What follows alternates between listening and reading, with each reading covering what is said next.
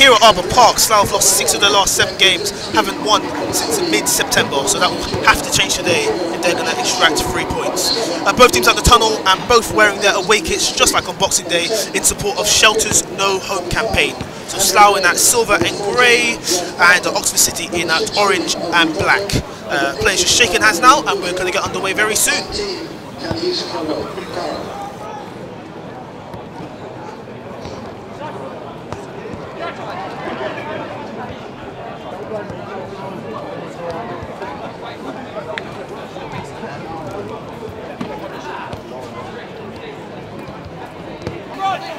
Uh, patient play, the build up, and that's Reese Fleet just plays it to his midfield partner Josh Ashby and gets it back. Here's Andre Burley, ostensibly centre back, but looking like he's playing right back today. Forward for William Bushell down the right, causing problems. Deflected cross, and then a shot, and a big shot as well, but a big save by Reese Forster. It was Josh Ashby arriving on the scene, fired it on the volley from close range, but the Slough keeper punts it out and it's clear for a corner.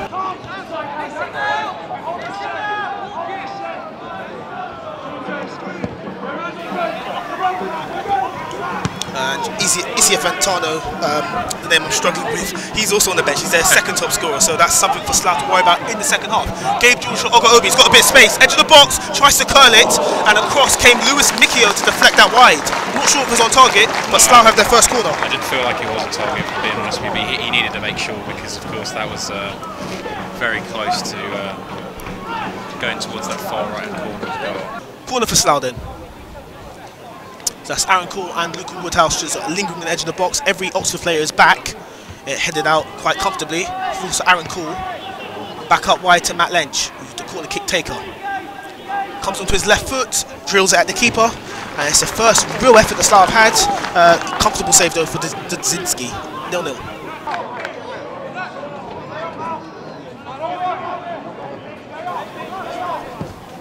Also looking to at least match what they did last season when they finished fifth. Touch. Great touch by Obi. Johnny Goddard's going to play in a Benyon.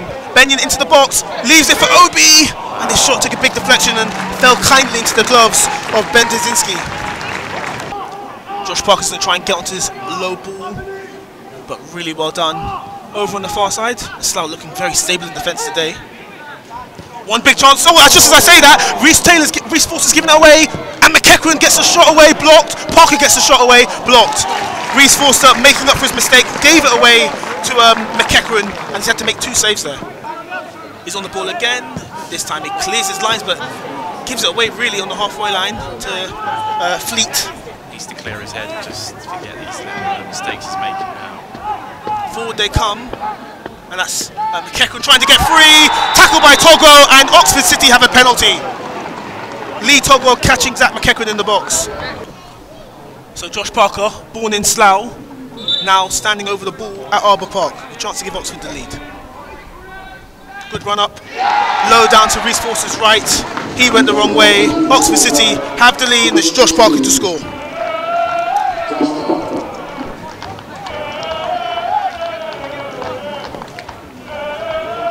And the away fans making some noise. Oxford out for revenge for Boxing Day. But it was Zach McEachran that Togo fouled for the penalty.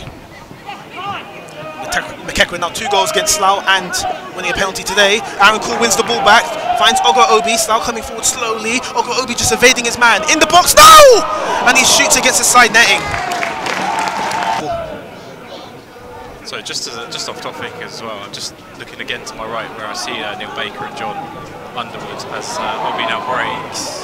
Oh, almost found. His teammate Mike Steele. Gabe George in the box. Shot by Goddard. It's blocked. And it's out for a corner. Great little break there from Slough. Matt Lench with the cross in. Fell nicely for Luke Woodhouse, but he's just uh, knocked it over the bar.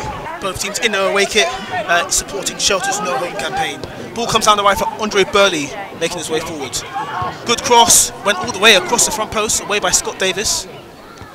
McEachran heads it down, McEachran gets it back, McEachran flies it wide.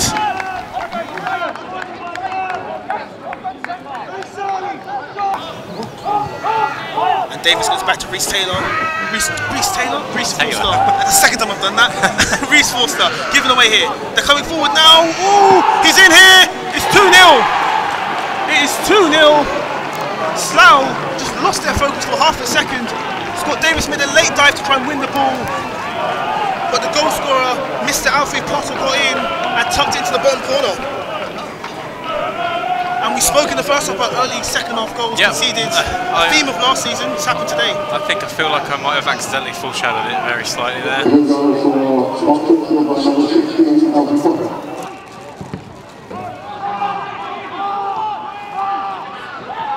Oh no, Slough giving away in the box.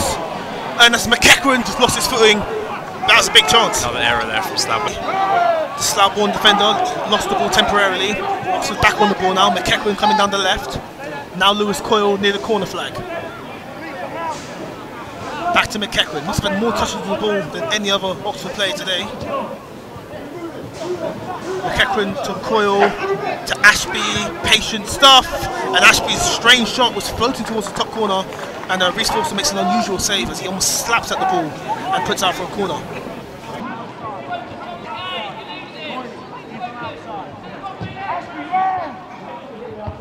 Oh, just over the bar at the near post. And Oxford will feel like they should have been 3 0 because Canice Carroll heads it on, and there's a number three that was uh, Lewis Mikia with a header over the bar from close range. 20 minutes to go. Taken short, taken quickly. Shooting opportunity here. Oh, but fired over. Matt Lench. I've actually, I'm just looking at the uh, the match stats that I've got in front of me. I've only got lobbed one off off target shot from Slough in the second half so far. I'm guessing none on target. None on target, Oh, yeah. okay, That's that's cool. it. That's all that there is. Just one one shot of target for Slough in the second half. It is incredible. Slough, you wouldn't know it, but they were looking, for the most part, like the better side in some ways in that first half. Yeah, that- it was, the same it was- it was back and forth, wasn't it? Yeah. It was a good game, but I don't know. It's just the mixture of that, that early second half goal and Aaron Cole's injury that really killed the game off really for Slough. Slough got it back. Here's, here's um, Chentouf. Oh, he scored! Youssef Chentouf from about 25 yards with a brilliant effort. The keeper could have done better, but it's in, and Slough have a goal back. 1 2. Wow. Out, Where's that come from? out of nowhere. I, I don't know. Do I put that down as a shot on target? Because I'm sure it did clip the crossbar, didn't it? Yeah, but I think came it's. I think it's yeah, the keeper only tipped up to the crossbar. I think at the minute, if I have to give an overall of the match, it probably would be Canice Carroll. He's been a pretty solid entire game. Every ball that's come in the box, he's been there. He's there again. There we go. Oxford back on the ball. Zach McEachran's also been very good today. Here's the sub Lolos. He spins away from Jackman, coming at Togwell, gets past Togwell. He's about 30 yards out, he goes for goal! And that shot was dipping from Lolos, but it's just over Reese Forster's bar. It's a good effort there. All but two men in the box for Slough. Lench, good corner, headed away by Burley. Back in by Togwell, and now again, I think that might have been Burley again. Comes back out wide to Lench. Could this be the moment as Lench puts it in? But it's headed away at the near post. Falls for Goddard. That's uh, Walsh, the new man, gets out to Lench. That's a really good cross. That's it! It's two! There's the goal you wanted! There's the goal you needed! Slough might have a point! Imran Kayani! Amazing! With the late win against Hampton and Richmond in September, and he's got a late equaliser today, and there's still time left! You could feel it around the ground. You, you could sense something was going to happen here. And I love the fact it's Imran Kayani again. He absolutely deserves this. Little uh, spell of form again.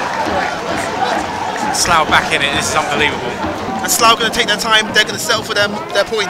Yeah, we're just ticking now towards the fourth minute mark. And uh, like I said earlier, four minutes were given. I'm sure that the referee is going to allow maybe another minute, maybe a minute and a half before blowing for full time. He's not. But he hasn't, no. Wow. There it is. What game to start off the new year? Slough 2 0 down with 15 to go, but then a comeback from absolutely nowhere means they're going to take a point. Youssef Chentouf with a brilliant long range effort, his first goal for the club. Then Imran Kayani with another crucial goal, his second against Oxford in the space of two games. Great game this one, 2 2.